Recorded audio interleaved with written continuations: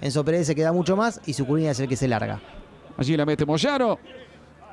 Ganado Montiel, dejó corto para Carrascal, Enzo Pérez. Y ahora De la Cruz, y va River. De la Cruz. Angileri. Abierto Matías Suárez. Viene Suárez, va Matías, le pega en arco. ¡Ah! ¡Golazo!